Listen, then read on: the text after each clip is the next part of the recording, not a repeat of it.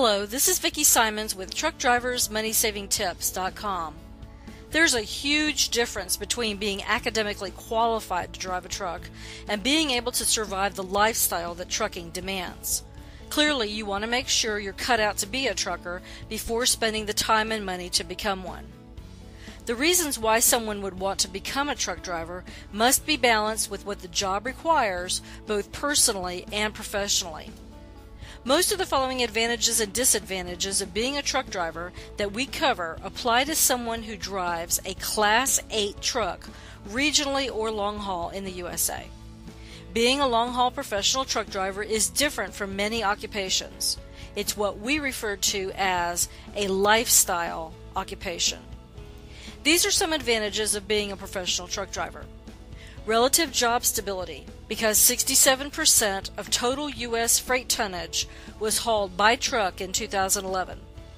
Good pay, most often calculated on a per mile basis, paid on the number of loads you haul, often with annual increases, but capped by the hours of service allowed by federal law and other factors.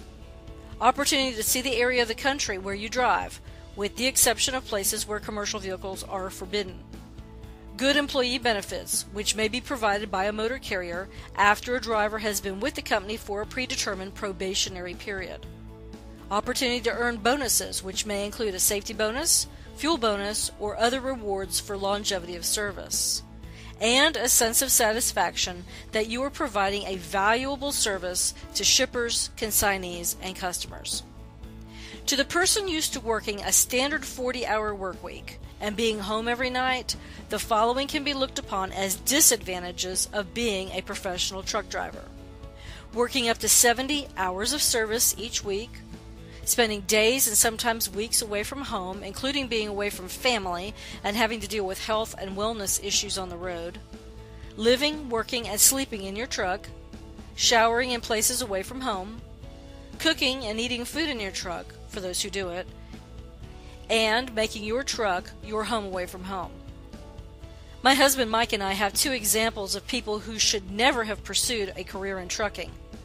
The first person was someone in a previous class at our truck driver training school who was rumored to have tried to pass his CDL road test over 20 times.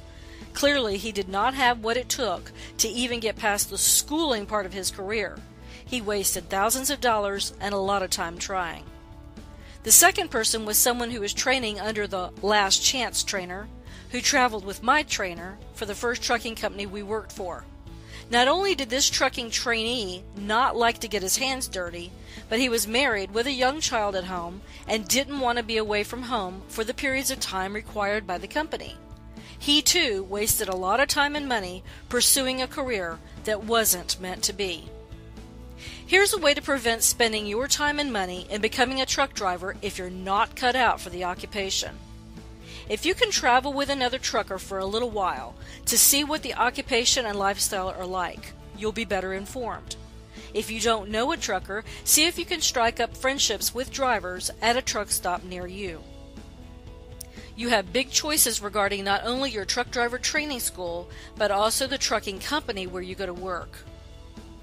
If at all possible, fund your own way through truck driving school so that your CDL is not dependent on the company who holds your livelihood in its hands. When you're deciding on a trucking company, arm yourself with questions to ask trucking company recruiters to cut through the fluff. Don't be among the newbie truck drivers who are exploited by unscrupulous trucking companies. For more information about becoming a professional truck driver, visit truckdriversmoneysavingtips.com and specifically the sections on our site on becoming a truck driver, truck driver training schools, and truck driving jobs. If you decide to become a truck driver, Mike and I wish you safe travels and lots of money saving opportunities on the road.